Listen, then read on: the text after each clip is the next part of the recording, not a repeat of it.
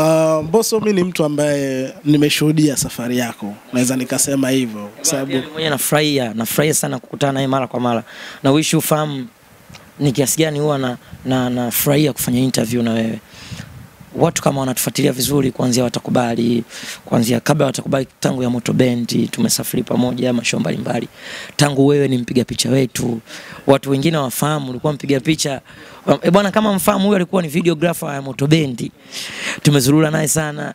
Kutoka videographer, kuna kipindi akawa videographer na pia bodyguard. At the same time, ana, hadi uh, tena akawa na blog yake. Hivyo hivyo. Sasa hivi tu tunaanzia watakubali, kipindi kile tunafanya interview, tunakula vitenge, tunapiga piga gita nini sana mpaka eh bwana, mpaka sasa hivi ni safari yes. of course mimi nimeshuhudia safari yako tangu huko ya moto unaanza kuimba kabla hata ya moto haijatengenezwa. kabisa. Eh bwana, eh bwana, nilisahau huyu jamaa, unajua tupo naye kweli kabla ya moto haijatengenezwa. Moja ya kitu ambacho kifahamu, ukitaka kuona picha zangu nyingi sana za zamani, ukimkamata wewe anakupa picha zetu tumepiga. Ai bwana, sasa lakini kwanza picha zangu nitakupatia, nitakupa. za za TBT zile. Unajua sometimes na wish kupost picha zangu za zamani, lakini sina. Hem, nitumie zile. Sasa nimefika hapa nikawa navuta ile picha ya Temeke Mikoroshini tulivyokuwa tunaishi na sasa hivi hapa. Kwanza nimekutana na chuma kimoja cha hatari sana. Naona natembelea wabunge tu, yaani watu fulani wazito wazito. Mjengo uko fresh, kila kitu kiko sawa, na maisha yale ambayo tumetokea, mimi mwenyewe najua nakula ugali na dagaa kwenye gazeti, au sio? Uh, nataka uniambie, yani nataka uongee kitu Nakumbuka kuna siku ulikujaga hapo bado ya Moto Bendi hajazaliwa. Ulikuja ulikuwa uliamboja kutushuti documentary eh? Ulifika pale ukatukuta tumemaliza samaki. Nakumbuka tume, ugali upo tumemaliza samaki. Kwa kumebaki kuna kitu kinaitwa pukupuku. Zinabaki kwenye kwenye kwenye karatasi kwenye gazeti. afu wanaume tukawa tunaondoka na zile pukupuku yani na ugali wetu. Ukasema da wanangu hatari. Eh. Da Mungu ni mwema. Of course ninavyoona mpaka hivi umefikia, ni naona umepiga hatua kubwa sana, na nafurahia kuona maendeleo yako kama hivi ambavyo uko sasa hivi. Kitu gani ambacho unaweza kuambia vijana wenzio ambao pia wana hustle, wana struggle sana, ambao wanaamini kwamba hawawezi kuja kufanikiwa kwenye yani kuja kufanikiwa kwenye maisha yao kwenye vile vitu ambavyo anavifanya. Mimi nimeshuhudia safari yako, wewe ni mtu ambaye ulikuwa zero mpaka leo umefika hapa, ni ni sehemu ni hatua kubwa sana kwenye maisha. Yeah, of course. Nataka uambie vijana ambao they don't believe them, themselves, yani hawajiamini, wana wengine wanakata tamaa na nini na vitu kama hivyo. Um, ngoja kuna kitu kimoja leo watu niwaambie hapa wanaopata nafasi ya kuniangalia kupitia harakati za Bongo.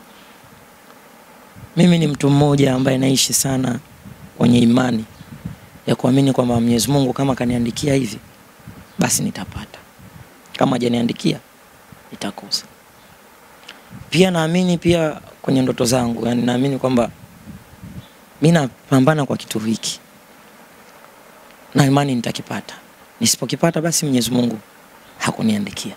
Ila mara nyingi kila nilichokitaka kwenye maisha yangu niliamua kumshtakia Mwenyezi Mungu. Hivi unavyoniona bro, mimi ndo niko hivi. Yaani wewe mtafute mtu yote anayenijua. Atakwambia ni Mbosso ndo yuko. Yaani mimi ndo niko hivi. Yaani ndo niko hivi bro. Mimi mtu ambaye naishi kwa imani ya dini yangu. Hata bosi mabosi zangu wanafahamu. Kwa ni Mbosso, yani mimi niko open sana. Mimi unaweza ukanielezea. Unajua kuna mtu huwezi kumuelezea ila mimi unaweza kanielezea. Mimi ukikana na mimi nusu saa tu unaweza kaenda sehemu kanielezea, ah, Mbosso yuko hivi kwa hivi. Yani mimi niko open sana.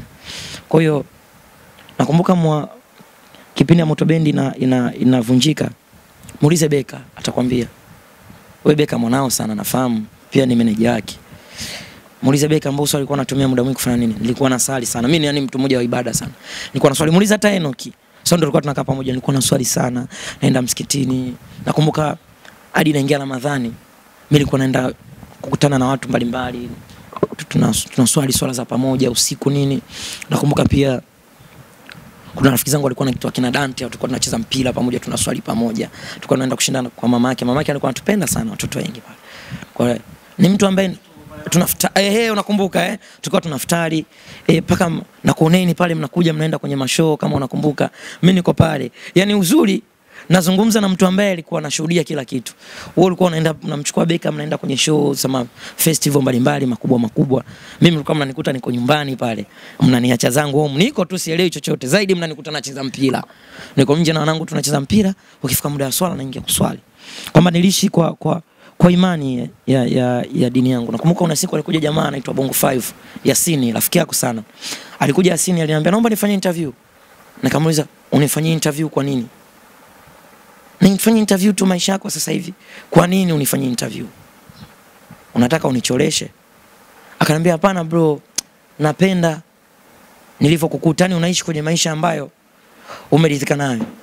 Nikamwambia sawa, tunaweza tukafanya interview. Nakumbuka alinifanyia interview, sikumbuki.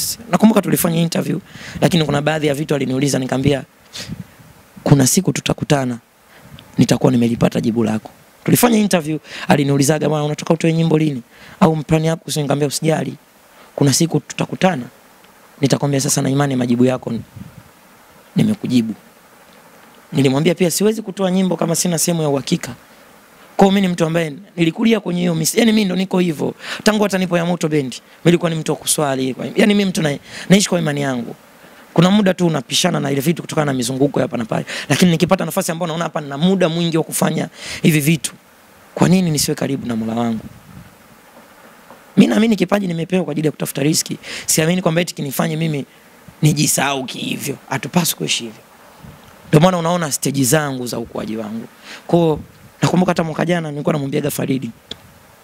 Naambia kabla ya mwezi wa 12 inshallah panapo uhai natamani ni, na, niendeshe Prado.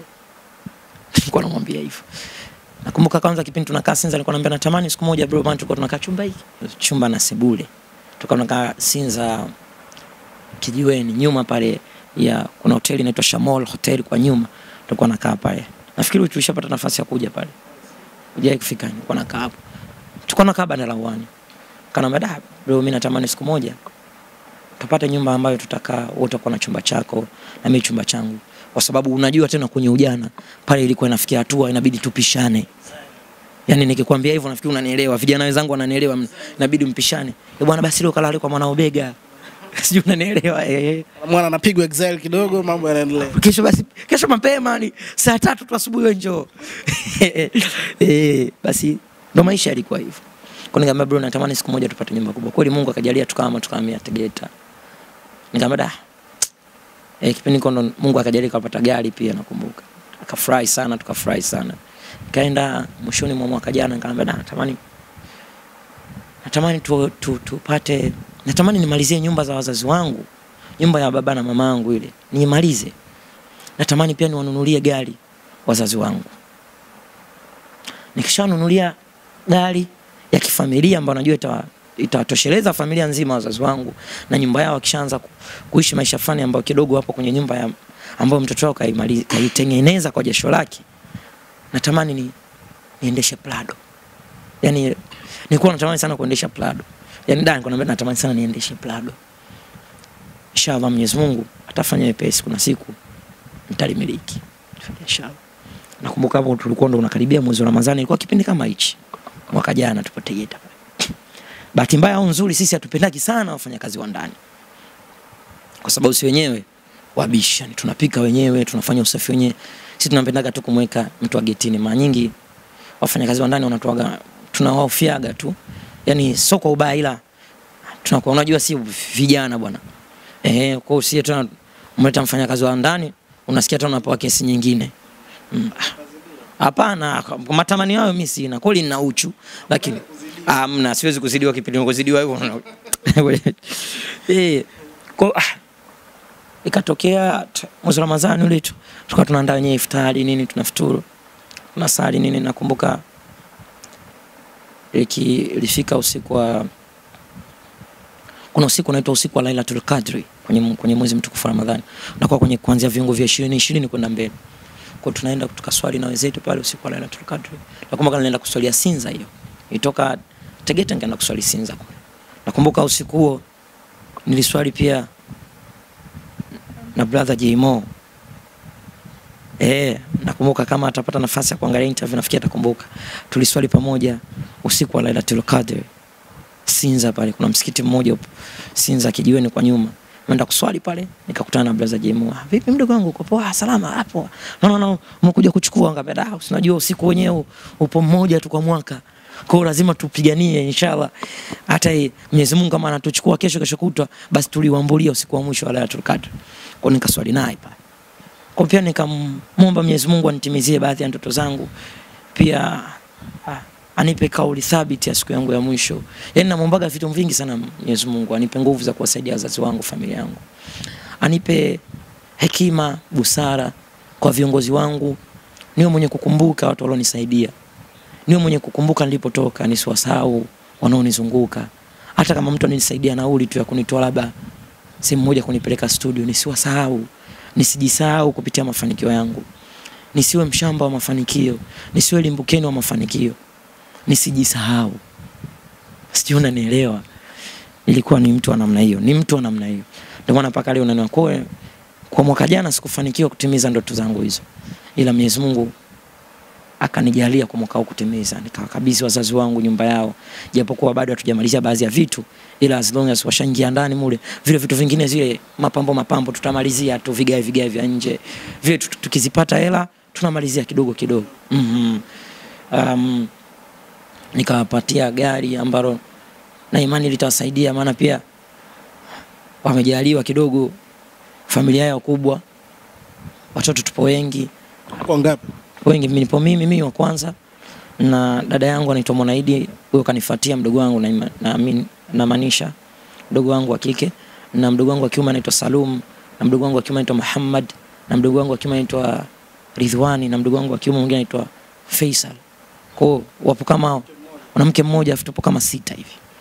Kwa hiyo nikaimani hapa nikipata gari kama Alphard basi siku akiamua kwenda Kibiti anawabeba wote hao wanaondoka, sijui unanielewa hapo na, na, na pia na wajukuu zake pia kidogo kapata wajukuu wengi mapema, kwa na imani eh, tuko vizuri. Kwa nafikiri pia na wajukuu zake pia atabeba huko, sijui unanielewa.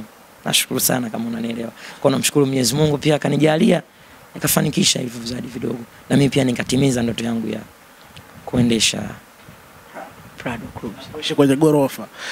Sasa nataka umwambie kijana ambaye yeye anahisi kwamba da, mimi bwana, mimi nishafeli, yani mimi siwezi kutoboa. Kwa wewe historia yako vile ambavyo unaweza, kitu kimoja tunamwambia nini? Siwezi kukwambia kitu kimoja na siwezi kumwambia kitu kimoja. I mean, siwezi kumwambia kitu kimoja, akiwezi kumsaidia. Cha kwanza, amini kwenye ndoto yako ambayo unaiota. Kama unaamini kwamba kuna siku utafanikiwa, amini kwenye kile ambacho unataka kukifanya. Weka juhudi hapo, yani weka bidii yako yote, jitese, kubali uteseke. La pili, ongeza sana heshima, yani heshima yako iongeze mara mbili. Hata uwe na kipaji vipi, uwe na elimu vipi, kama huna heshima kwa watu wanakuzunguka huwezi kutoboa. Unaweza kukuta watu hata hawashughulikii vitu vyako, yani watu hawako na wewe. Wewe heshimu, kuwa na discipline ambayo mtu anaona kabisa da, huyu jamaa ana heshima sana. Ishi kwa imani, alafu muombe sana Mwenyezi Mungu, muombe sana Mwenyezi Mungu. Wewe waombee sana wazazi wako, ombee familia yako, ombea sana vitu vyako. Muombe Mwenyezi Mungu kwa imani ya dini yako, wewe Mkristo, wewe Muislamu, muombe sana Mwenyezi Mungu kwa imani yako. Muombe kile ambacho unakihitaji wewe kwenye maisha yako na kwa pia leo wallahi wa billahi leo Jumatano kama nilivyokuambia nipo kwenye funga ya sunna sunnatul haji ya mwezi wa Shabani. Muombe Mwenyezi Mungu sana, asipokuitikia dua yako, basi kuna kitu ulikuwa nakikosa kwenye ku, kuaminisha imani yako. Muombe kwa imani yako kwa unyenyekevu. Kila mtu anamwomba Mwenyezi Mungu, mnyenyekee Mwenyezi Mungu, yani muombe. Utanikumbuka na utaikumbuka hii interview, Utanikumbuka. utanikumbuka na utaikumbuka.